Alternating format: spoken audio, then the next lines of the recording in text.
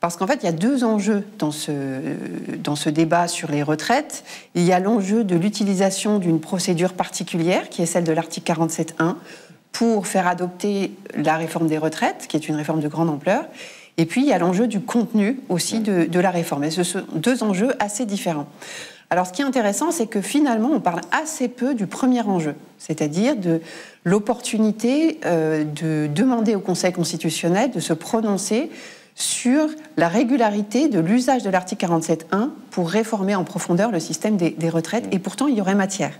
Il y aurait matière parce que c'est une disposition qui, à l'origine, avait été prévue de manière paradoxale par rapport à ce qui se passe aujourd'hui pour donner euh, au Parlement un pouvoir de euh, discussion euh, et de regard sur les comptes de la sécurité sociale qui auparavant appartenaient simplement au, au gouvernement. Et l'article 47.1, lorsqu'il a été introduit dans la Constitution, visait justement à donner à l'Assemblée et au Sénat un pouvoir de regard et de discussion, en limitant néanmoins ce pouvoir, c'est-à-dire en ne le transformant pas en droit de veto, donc, et en disant, bah, au bout de 50 jours, si vous n'avez pas voté, euh, on peut, euh, on peut euh, adopter cette, ce financement par voie d'ordonnance. Et là, euh, ça n'est pas du tout euh, ce que fait euh, le gouvernement, puisqu'il ne se contente pas d'imputer des recettes et des dépenses pour la sécurité sociale. Non, il transforme le système des retraites, de fonctionnement des retraites en profondeur. et il entend, pour cela, limiter au contraire, les débats hmm. à l'Assemblée nationale et, au Sénat. Donc, si je vous suis, on peut parler presque d'un détournement de, cet article. Donc, c'est ça qui l'exposerait à une éventuelle censure, si je comprends. Ben, si, si, on s'intéressait effectivement à euh, la raison d'être de cet article, euh, qui n'est pas du tout euh, celle pour laquelle le, gouvernement agit actuellement, on, pourrait se demander si effectivement cette procédure n'est pas ici détournée, dénaturée.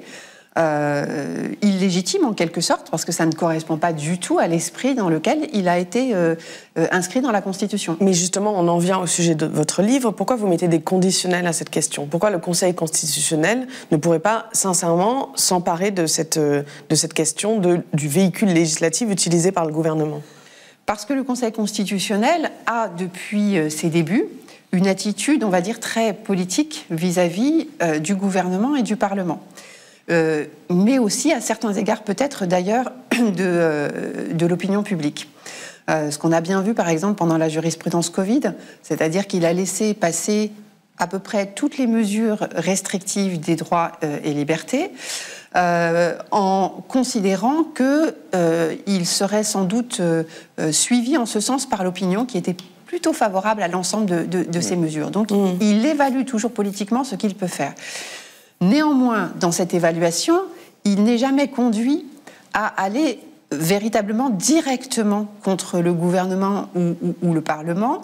C'est quand même assez rare qu'il sanctionne euh, une réforme, euh, une réforme sociale. Euh, il peut la réformer, il peut la sanctionner de manière très discrète, hein, en censurant ici une disposition.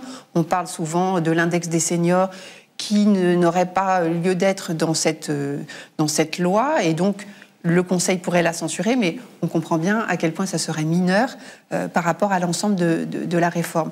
Donc oui, je mets des conditionnels parce que jusqu'à présent, le, Conseil constitutionnel n'a pas été amené à montrer qu'il avait un vrai pouvoir euh, de euh, réflexion autour de la Constitution et un vrai pouvoir d'opposition euh, comme s'il était un contre-pouvoir à l'interprétation que font le gouvernement et le Parlement de la, Constitution.